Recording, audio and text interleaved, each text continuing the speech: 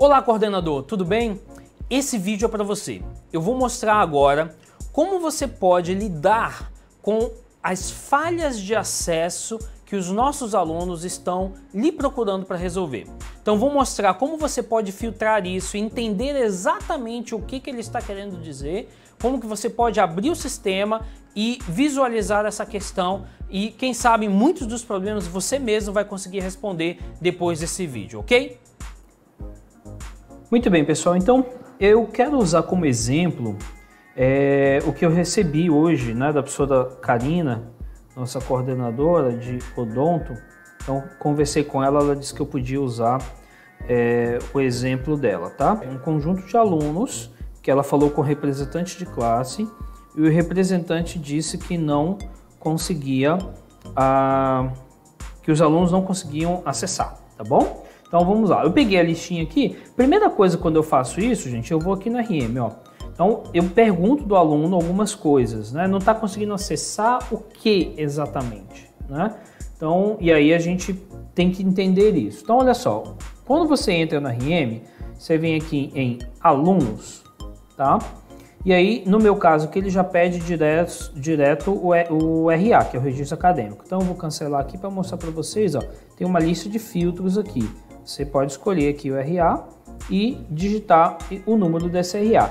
Eu vou pegar um aluno que eu ainda não tratei, tá bom? Um que eu ainda não tratei, porque os demais aqui eu já fiz esse exemplo aqui com a professora Kalina. Então vou pegar esse aluno aqui, ó. Ela passou 534114. 41 14. Nota que só tem seis dígitos aqui, né? Então vou colocar aqui o dígito 0 da gente poder ver a situação desse aluno. Então, é a aluna Evelyn aqui, tá? Quando eu dou dois cliques aqui, ó, em cima desse aluno, ou se eu vou aqui no menuzinho editar, eu posso verificar os detalhes do aluno e nota que tem bem aqui, ó, usuário, tá? Que é o mesmo número de matrícula. Então eu clico aqui no nome dela, Evelyn Cristina, e agora eu abro os detalhes de usuário deste aluno. Observem o seguinte, gente, observem o seguinte, este aluno aqui, ó, a última vez que ele tentou acessar foi dia 23, 8 e 51. Quando foi isso? Ontem à noite. E a última vez que ele conseguiu, ó, o último acesso do válido foi dia 23 de março, 8 e 51, ontem à noite. Então a dúvida é, como é que ele diz que não tem acesso? É, é, é esse é o grande ponto aqui. Ok, então tá bom, vamos fazer o seguinte. Vamos pegar aqui o usuário, vamos pegar aqui, ó, tá vendo o campinho senha? Eu vou alterar a senha dele para que a gente possa acessar o ambiente dele e tentar entender o que ele está dizendo, ok? Então, clica aqui na chavinha, bota uma senha. No caso aqui, eu tenho a prática de já colocar o mesmo número de usuário, a mesma matrícula, para facilitar, ok? Ok, ok. Então, agora eu venho aqui no portal, né? Abre aqui o, o site da FAMetro, né? Tem um banner legal aqui. Então, clica aqui em portal do aluno e vamos entrar aqui com o usuário e senha que eu acabei de resetar, tá bom? E vamos entrar então no portal do aluno. Eu, é a primeira vez que eu estou vendo esse aluno, ainda não trabalhei com ele, ok? Então vamos lá, ó. ele tem 2020/1 aqui, 2019/2 aqui. Então eu quero acessar 2020/1. Clico aqui, confirmar, certo? Então, tá aqui o portal do aluno, tá? Então, a, primeira, a coisa que todo mundo está buscando, o que, que é? Material, né? Então, tá aqui o menuzinho, ó. Clico no menu aqui à esquerda, clico em arquivos, certo? Então, a gente vê aqui, ó. Essa aluna faz odonto, tá bem aqui em cima, tá?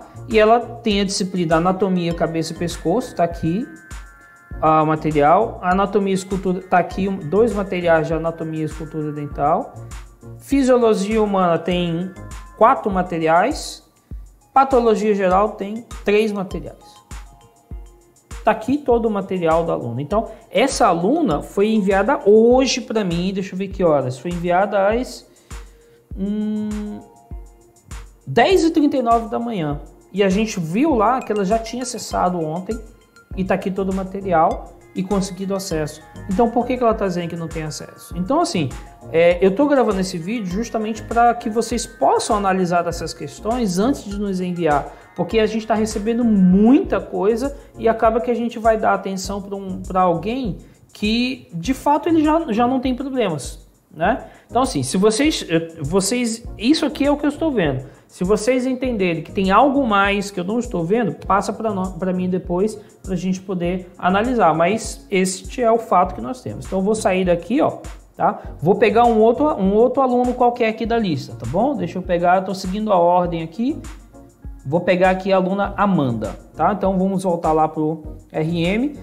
Clico de novo aqui no filtro, ó, e vou colocar aqui 1907 453, tá? Essa é a matrícula que me foi passada, aluna Amanda. Então, clico duas vezes aqui para eu abrir o cadastro dela. Nota que usuário e registro acadêmico é a mesma coisa. Clico aqui na Amanda. Olha, essa aluna acessou ontem 22 horas e 6 minutos, né? Então, por que, que ela não tem acesso? Né? Não vou nem resetar a senha dela, porque certamente ela, eu vou causar um problema para ela. Deixa, vamos ver se a gente acha um outro caso um caso que seja algo diferente, tá? Então, Thiago aqui, 1907 798. Dois cliques aqui. Clicamos de novo aqui no nome dele. Ó, esse aluno acessou pela última vez, a última vez que ele acessou de maneira legal, 1 de março, 1348. Foi a última tentativa de acesso. Depois disso, ele nunca mais tentou. Porque se ele tivesse tentado acessar, tinha registro aqui, tá bom? Então, assim, por que, que ele nunca mais tentou e agora diz que não tem acesso? Então, é isso que a gente precisa entender. Capture isso dos seus alunos, né? Eu não estou dizendo que os alunos estão agindo de má fé, não é isso. É, a gente só não consegue visualizar o que está chegando para nós. Eu estou gravando esse vídeo para ajudar você a identificar isso e trazer para nós aquilo que foi um problema.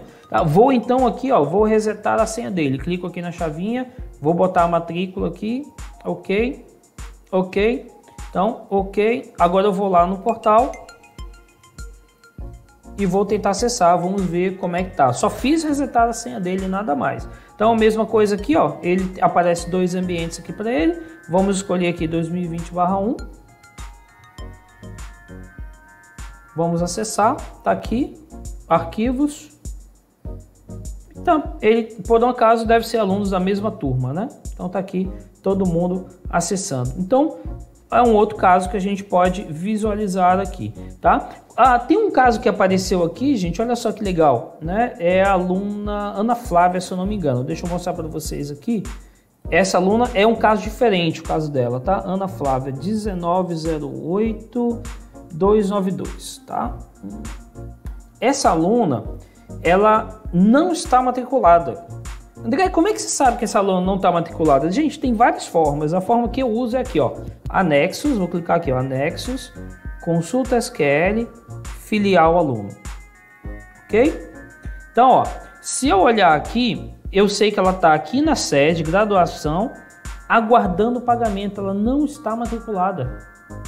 Ela não sabe. Então não tem como. Então realmente ela consegue acessar o portal e não aparece nada. Ah, por que, que ela não está matriculada? Aí, gente, você pode consultar a secretaria acadêmica ou financeiro. Eu posso até dar, um, dar uma dica aqui, né? O que, que eu faço? Eu sempre venho aqui anexos contratos, certo? Já abro o contato de 2020 dela aqui, né? Tá até um pouco fora do escopo aqui, mas eu mostro para vocês. Anexo parcela, tá? E aí eu olho a situação dela aqui tá? Nesse caso aqui, o que aconteceu? Eu já tinha passado isso para Karina, né? E olha só, lançado aqui e a parcela 1 está em aberto. A parcela 1 é a parcela que faz o aluno ficar matriculado. Por algum motivo, a 2 e a 3, ó, ela foi baixada e a 1 não. E aí tem que procurar o financeiro, procurar a secretaria acadêmica para resolver. Então, gente, é assim que a gente checa a situação e verifica o que está acontecendo, tá bom? Então, vocês vão ter acesso ao RM de casa, faz esse filtro, indaga o aluno, tá? Uma coisa é acessar o portal. Né? Essa aluna, Ana Flávia, por exemplo, ela acessa o portal, mas não aparece as disciplinas. Por que, que não aparece? Porque ela não está matriculada ainda, por algum motivo. E aí tem que resolver a questão desta aluna, tá bom? É... Deixa eu ver o que mais que eu tinha mostrado para vocês. Bom, eu gravei um vídeo agora há pouco Estou falando aqui de maneira muito informal, gente, que é para vocês coordenadores. Gravei um vídeo agora há pouco, uma, vai sair ainda hoje esse vídeo, dá uma procurada, que é a, como é que o aluno pode resetar a sua senha, tá? Então já mostrei para vocês como você pode fazer por ele e como é que o próprio aluno pode também resetar a sua senha quando ele tiver algum problema de acesso aí, tá bom? Então é isso, é isso. Ajuda, nos ajuda a entender o que, que está acontecendo para que a gente possa focar naqueles que realmente têm problemas, tá bom? Então, obrigado pessoal.